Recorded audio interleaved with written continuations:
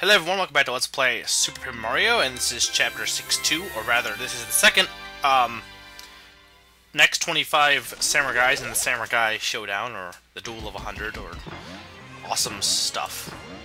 So yeah, more of this. Tell me, Challenger, do you come to the 26th gate to seeking a, uh, yeah, Grandmaster Kick Face? A lot of these names are really hilarious, too.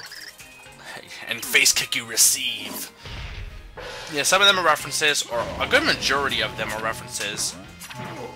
This one in particular is just a guy who likes to kick face, which I, I, am not opposed to. Kicking face is pretty awesome. I must climb the highest peak and meditate on my failure to kick face. You may pass. May your feet swiftly impact the faces of dozens of warriors. Poor Master Kick Face. He failed in his task to kick my face, which ironic because he didn't even attempt to kick me. He used his sonic sword. Anyway, you arrive at the 27th gate. I not wear it now, but I am soaring cape. But my cape has shrunk, and now I must defeat you, tethered to the earth. I am at a great disadvantage, and you have honor. You will not use your best ability. No, of course I will. I don't have any honor. I'm Bowser. Bowser is honorless. Fortunately, yeah. That's the one thing, if you, with these samurai guys, some of them will start the match in different ways, and if you know what they're going to do, you can prepare for that. For example, if I know when they're going to jump, I wouldn't just breathe fire, because it would be ineffective. But unfortunately, I am not psychic. So let us continue on. But before that, let's eat a whack bump.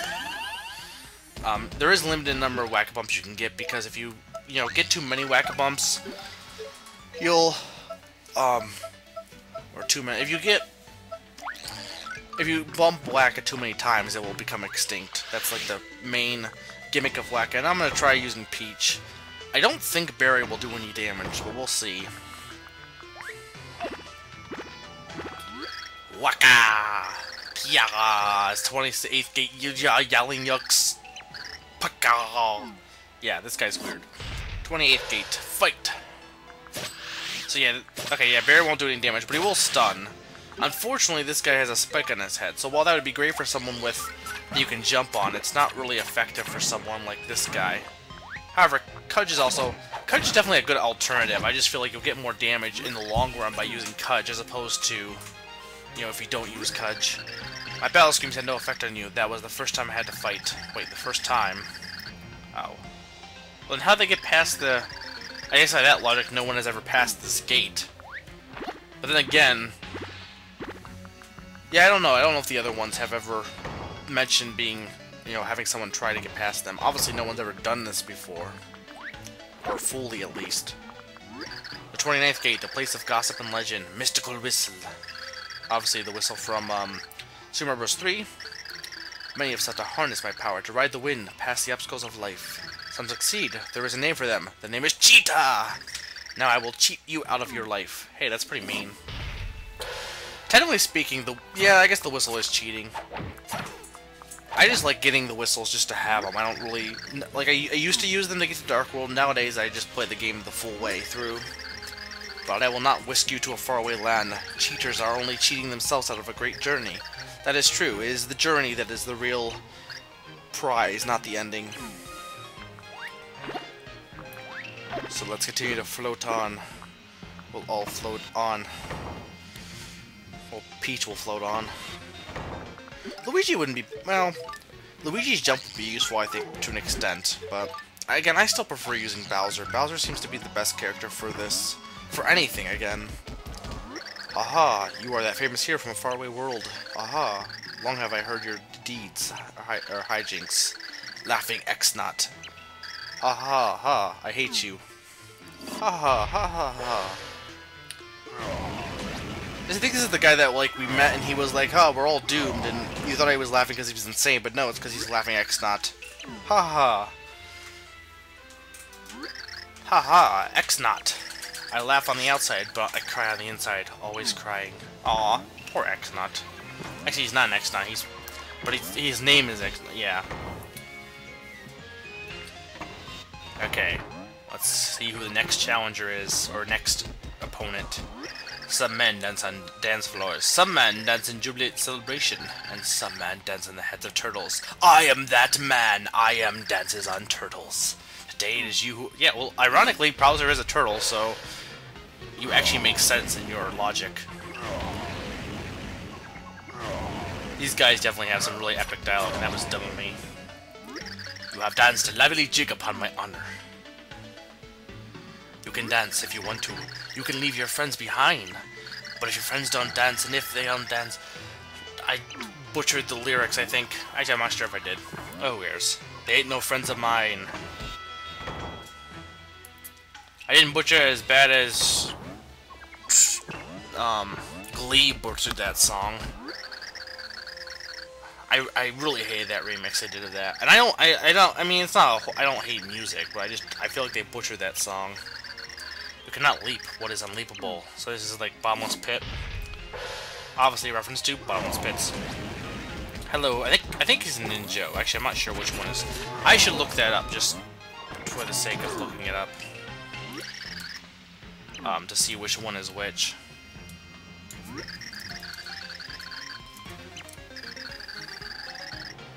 Because, okay. Ninjos, yeah, Ninjos are the purple ones. Um, so that's a Ninjo.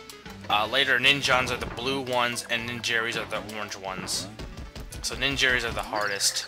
Karake, thirsting bones, guards his three, third gate. My dry, dry bones go parched. Yeah, so obviously reference to dry bones. But thirsting bones. He's not just dry, he's in pain from not having any water. I know he'd be, he'd be dehydrated. That reminds me of the contest that, obviously back in 2006, that someone died because there was the contest of hold your Wii for a Wii, and I think it was in California, basically it was drink a bunch of water, and then I think the person who did it, who died, like, didn't follow the instructions or something, but either way, it was a dumb contest, but basically it was just drink a bunch of water and don't go to the bathroom, and they ended up, you know, that, that's not good for you, obviously. And that goes back to the whole thing of, um, well, first, rare, you stop now. Half cat, half geological event, molten panther erupts in a flaming sledge of, think, lava, magma, magma lava, per. Um, so, that brings it to the whole thing of, I think someone, oh, someone, again, died, it was like a promising college student, died because they like sat playing a game and they died from you know just the sitting and not moving. And then people were like some people were like oh well see this proves that playing playing games is bad. No it proves that you should move and not sit in the same position. Um I for me that I don't feel like that would ever be an issue because like I get uncomfortable if I'm in one position for a long time anyway so I constantly keep moving even when playing games. So I don't get why you know it just means I mean, some of the weirdest things can kill you. It's actually pretty easy to die in real life. Um, it's kind of scary thought, but, um, you know, like, as much as you can say, oh, video games cause death. Well, no, a lot of things can cause death, and it's not the game themselves, it's things around the games. For example, not going to the bathroom, sitting still and not moving, chugging a pound of, or pound, chugging 50 bottles of What's something that game? I guess Powerade or I don't know. I you know people who drink like Red Bull. I don't really drink Red Bull. It's I used to drink like energy drinks and caffeine, and I probably like I've been more tired since I've been not been drinking caffeine. But at the same time, I feel like I've been happier. I could get into drinking coffee, but I don't like the taste of coffee. Anyway, let's kill this dude. Heat 36, fight.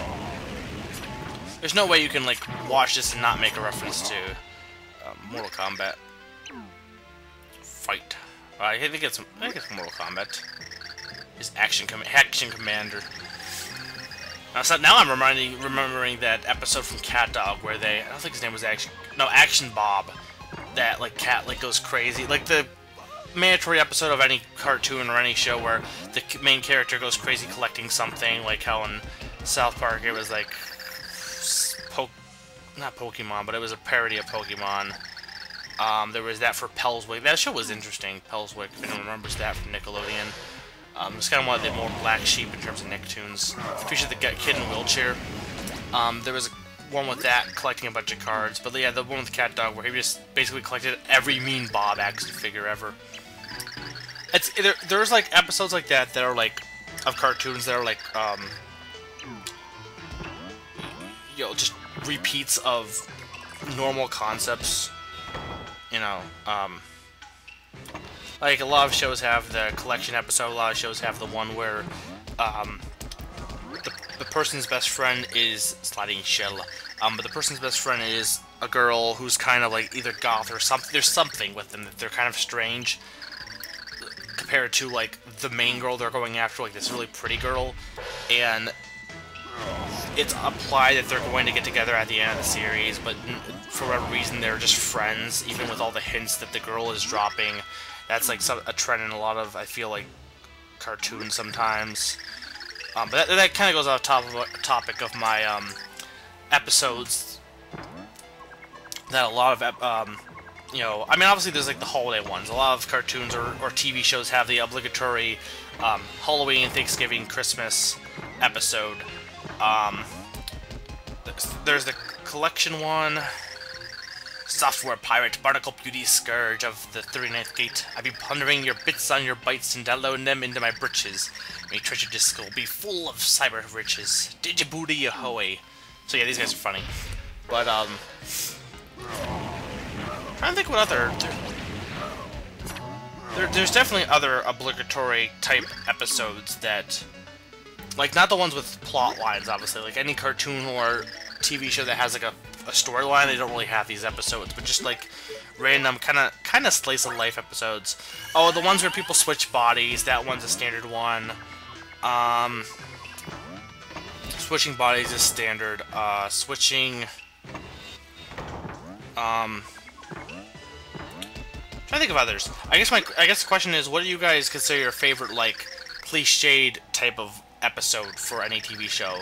I mean, I can't think of any others off the top of my head, but like an episode that a type of episode that appears in a lot of different cartoons with the same kind of style, um, like ones where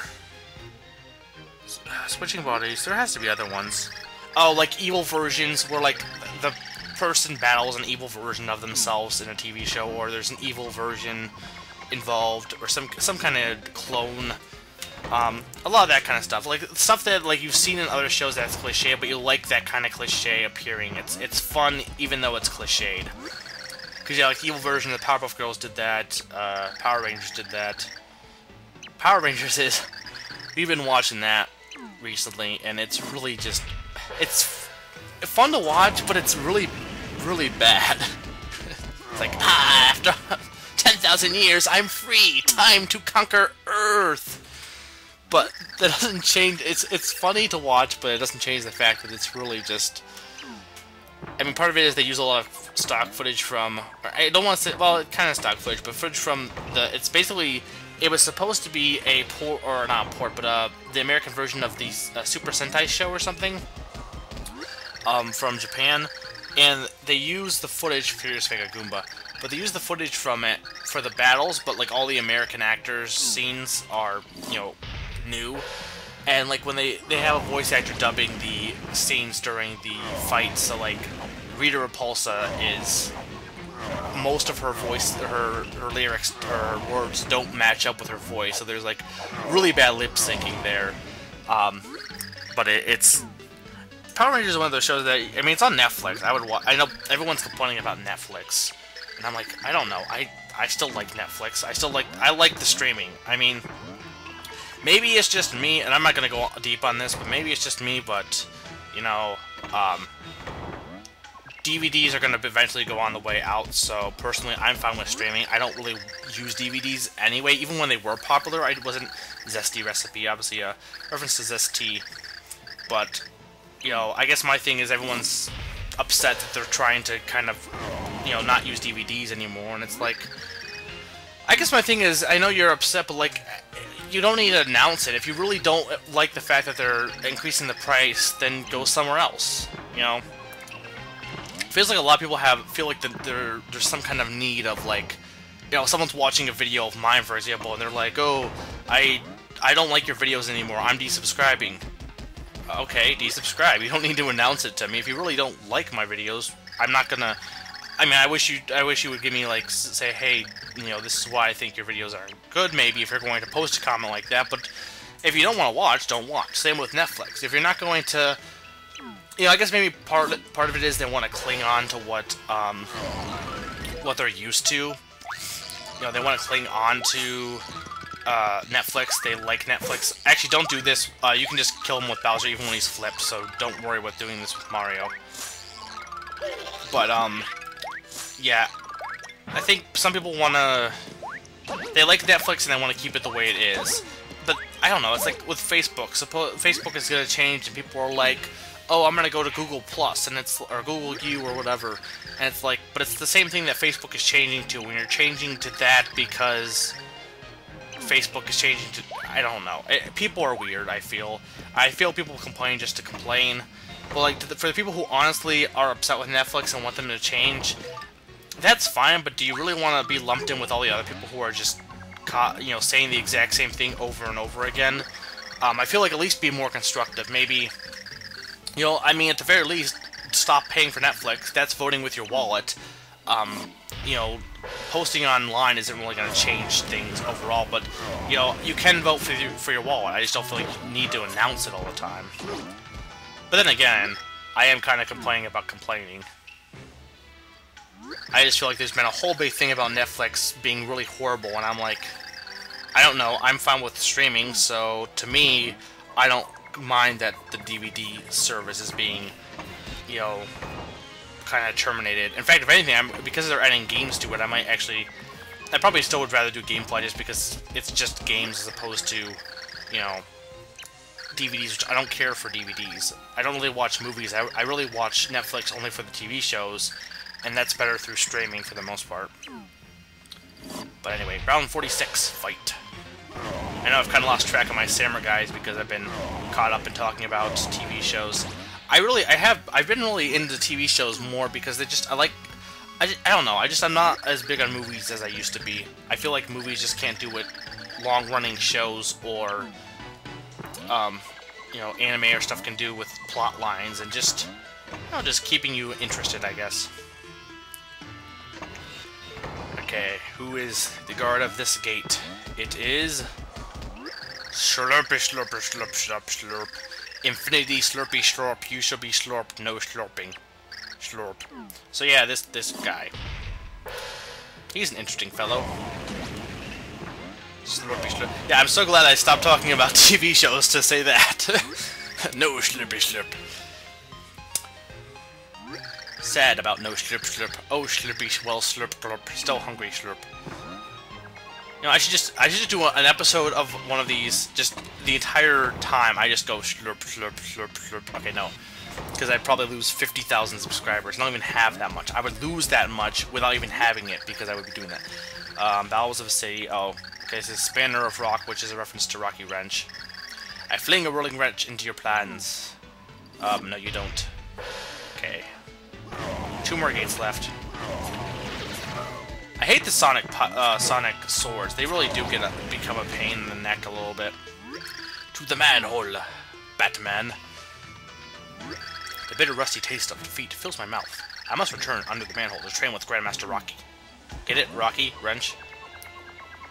Okay, anyway. Two more for this chapter. Because it is kind of chapters, basically. And this guy is another war, uh, flipping guy. Star of Seven Shards. Obviously, reference to, like, Legend of the Seven Stars, or basically any of the RPG games where you have seven stars. Which is basically all of them, except for the Mario and Luigi games and this one. And even the Mario and Luigi games, you still have stars. Um, Bowser's Story is Dark Star, and then Star Cures, and then Cobalt Star, and then Bean Star. They're just not seven shards, but there's there are stars. This is the only game without stars, I'll give it credit, but it's also not an RPG, so... It's a platform with RPG elements. And our last samurai guy is... Drumroll, please. Hello, big guy. A frigid wind ripples up the small view... Small view... What? And you find me at the fifth gate. You try to tiptoe past my stormy wrath, but you bring down the avalanche. Did he really say his name? Is his name the Avalanche? I'm honestly not sure. Either way, he's dead. Yay! And so I melt. You have beaten Ice... Oh, Ice World. Okay. okay, so this has been MegaFreak 400, and I am reminding you that I love pancakes.